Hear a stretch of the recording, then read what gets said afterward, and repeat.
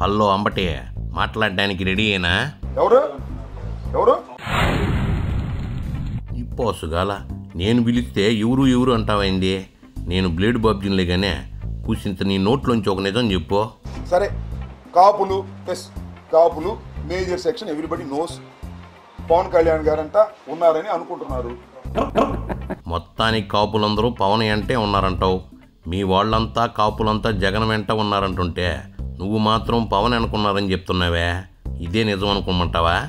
సర్లే ఇంతకీ నీ విషయం చెప్పు. జగన్మోహన్ రెడ్డి పంపిద్దాము పంపించేద్దాము అనేటువంటి మాటలు ఆయన మాట్లాడుతున్నాడు.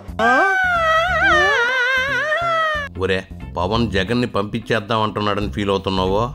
ఆయన కూడా మీలాగా జగన్ని ఇంకో ముప్పై ఏళ్ళు పాలించాలని చెప్పాలని అనుకుంటున్నావా ఏం సామి? ప్రతిపక్షం ఎవరైనా సరే అధికార పక్షాన్ని దించాలనే కదా ఉండేదే. ఒక విషయాన్ని కూడా ఇక్కడ ప్రస్తావన చేయాలి నేను. ముద్రగడ పద్మనాభం గారి మీద కూడా పడతా ఉన్నారు. ముద్రగడపై జనసేన వాళ్ళు పడుతున్నారని బాధపడుతున్నావో? ముందు ముద్రగడే పవన్ మీద పడ్డాడు కాబట్టి నిజం చెప్పు. ముందు ఎవరు తిట్టింది? నిన్న ముద్రగడ పద్మనాభం గారి మీద పద్మనాభం గారు మూడు పేజీలు లెటర్ రాశారు. పవన్ కళ్యాణ్ గారి మీద. అసలు పవన్ కళ్యాణ్ గారిని మీరు రాజకీయ నాయకుడిగా కూడా మీరు గుర్తించట్లేదు ఆయన నటుడు అన్నారు అనేటువంటి మాట మాట్లాడుతున్నారు. అధికార పక్షానికి ఒత్తాసు పలకతా పవన్ని ముద్రగడ తిడుతుంటే జనసేన వాళ్ళు చూస్తా ఎందుకుంటారో? ఆయన గుర్తించడం ఆయన ఇష్టం.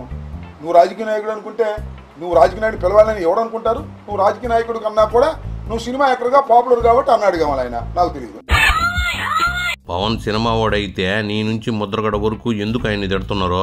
ఈ రాష్ట్రంలో కాపులకి సమయం వచ్చినప్పుడు అండదండగా నిలబడినటువంటి వ్యక్తి ముద్రగడ పద్మనాభం గారు. ఏందిదే? ముద్రగడ మీ జగన్కి అండదండలుగా ఉంటే నువ్వేంది? కాపులకు అండదండలుగా ఉన్నాడని చెప్తున్నావో? తన రాజకీయ జీవితాన్ని కూడా ఫణంగా పెట్టి కాపు ఇష్యూ వచ్చినప్పుడు నిలబడినటువంటి వ్యక్తి ముద్రగడ పద్మనాభం గారు. ముద్రగడ పద్మనాభం గారితో నాకు చాలా విభేదాలు ఉన్నాయి. అది వేరే విషయం. ఆయన వేరే పార్టీ మేము వేరే పార్టీ. ముద్రగడ మీరు వేరువేరు పార్టీలైతే కాపు రిజర్వేషన్లపై జగన్ ఇప్పటి వరకు ఆయన ఎందుకు ప్రశ్నించలేదు? కేవలం కాపుల్ని వాడుకుని వదిలేసేటటువంటి క్రమంలో ఇవాళ పవన్ కళ్యాణ్ గారు వ్యవహరిస్తా ఉన్నారు. కాపు సామాజిక వర్గం అంతా కూడా పెద్దన్న పాత్ర పోషించాలనేటువంటి మాట మాట్లాడుతూ ఉన్నారు. పెద్దన్న పాత్ర అంటే ఏంటి? ఈ వెనకాల ఉండాలి. చంద్రబాబు నాయుడు గారిని ముఖ్యమంత్రి చేయాలి. ఈనాడుకి ఏమైనా ఇబ్బంది వస్తే దాన్ని రక్షించాలి. పవన్ కాపులకు తనను సీఎం చేయమని చెప్తుంటే నువ్వేంది? బాబును సీఎం చేయమన్నాడని అబద్ధాలు చెప్తున్నావో? మీ అందరికీ అర్థమై ఉంటుంది. మీ అందరూ చూసి ఉంటారు వినుంటారు రోజు రోజుకి పవన్ కళ్యాణ్ గారి గ్రాఫ్ పడిపోతా ఉంది. ఎందుకు పడిపోతుందో నేను చెప్పాల్సిన అవసరం లేదు. ఆయన మాటల వల్లే ఆయన పడిపోతున్నాడు. పవన్ సభలకు జనం పోటెత్తుతుంటే నువ్వేంది సామి? ఆయన గ్రాఫ్ పడిపోతుందని చెప్తున్నావా? నేను చెప్పింది కరెక్టా కదా? అమ్మ బాగానే జనం వస్తున్నారే అని అనుకుంటారు కదా మీరు. వస్తారు సినిమా యాక్టర్ వస్తే రాకేం చేస్తారు? వచ్చి ఏళ్ళు వేస్తారు గందరగోళం చేస్తారు. ఆయన అప్పుడప్పుడు ఊగిపోయి మాట్లాడుతూ ఉంటుంటే ఏళ్ళు వేసి "ఆహా, అద్భుతంగా ఊగాడు అనుకుంటారు ఎవరండి రాజకీయాల్లో అంత ఊపులో ఊపేవాడు నాకు అర్థం కాలేదు. మీ సభలకు జనం వస్తేనేమో ఓట్లేయడానికి వచ్చినట్ట? ఆయన సభలకు జనం వస్తే ఏర్లేయడానికి వచ్చినట్ట? భలే మాట్లాడుతున్నావే. కాపుల్లో ఉద్రేక పరులు. తస్సది అంబటే కాపుల్ని ఉద్రేక పొరులోని అంటున్నావో? అందరూ మీలాగా జగన్కి భజన చేయాలని చెప్తున్నావా ఈయన సామి కాబట్టి పవన్ కళ్యాణ్ గారు చాలా దురదృష్టకరమైనటువంటి పద్ధతుల్లో అప్పుడప్పుడు వారం నాలుగు రోజులు వచ్చి కాస్త మీ అందరికీ వార్తలు ఇచ్చి మేము కూడా కాసేపు కామెడీగా మాట్లాడడానికి అవకాశం ఇచ్చి వెళ్ళడానికి పనికి వచ్చేవాడే తప్ప ఈ రాష్ట్ర రాజకీయాల్లో పనికి రానటువంటి వ్యక్తి. పవన్ నిజంగా రాజకీయాలకి పనికిరాని వాడే అయితే రెండు వేల పద్నాలుగు ఎన్నికల్లో మిమ్మల్ని ఎందుకు ఓడిస్తాడో? అయినా పనికిరాని వ్యక్తి గురించి మీరు గంటల గంటలు ఎందుకు చర్చిస్తున్నారు చెప్పు. వారాహి అంటే ఏమిటి? ఇంతకుముందు చెప్పి మళ్ళీ చెప్తున్నా. వారాహి అంటే అవతారాల్లో ఒక అమ్మవారు. వెరీ పవర్ఫుల్ వారాహి దశావతారాల్లో ఒక అవతారం కాకపోతే ఏమైంది పంది అవుద్ది. ఈ పవన్ కళ్యాణ్ గారు వారాహి మీద ఎక్కాడంటే ఏంటి దాని అర్థం? ఎంత అపశకునం? ఎంత సెంటిమెంటు? ఆయన ఎక్కింది వారాహి కాదు పంది.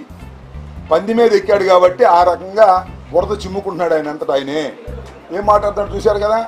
ఊగిపోతాడు కొడతానంటాడు ఇళ్ళల్లోంచి పట్టు లాక్కొచ్చి గుద్దుతానంటాడు ఏదేదో అంటాడు ఏదేదో మాట్లాడతాడు రవిడిజం చేస్తానంటాడు రకరకాలుగా మాట్లాడుతున్నాడంటే ఆయన ప్రయాణం చేస్తున్నది ఆయన ఎక్కి మాట్లాడుతుంది వారాహి కాదు అది ఒక పంది. ఆ పంది మీద ఎక్కి బురద జల్లే కార్యక్రమం చేస్తున్నాడు బురద జల్లే పందిని ఏం చేస్తారో ప్రజలు ఆ విధంగా నీకు కూడా చేస్తారని ఈ సందర్భంగా చెప్పదలుచుకున్నాను.